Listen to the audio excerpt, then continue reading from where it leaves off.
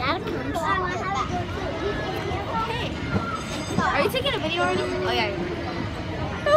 Here we go.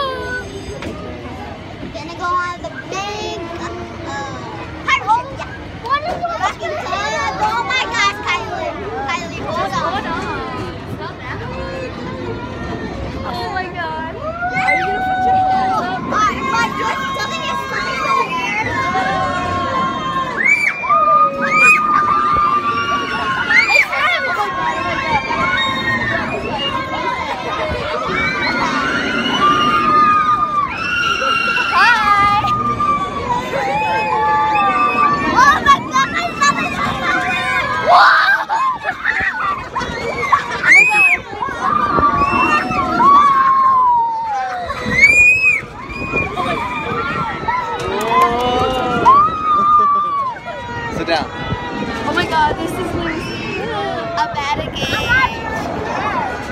You should be. What if this flies?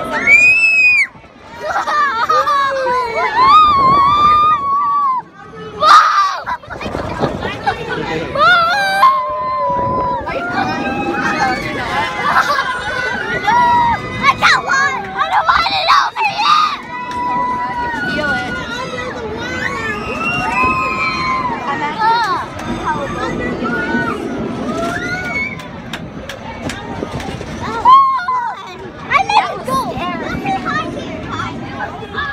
imagine if that was on a real boat and this is exactly how it felt. The water was just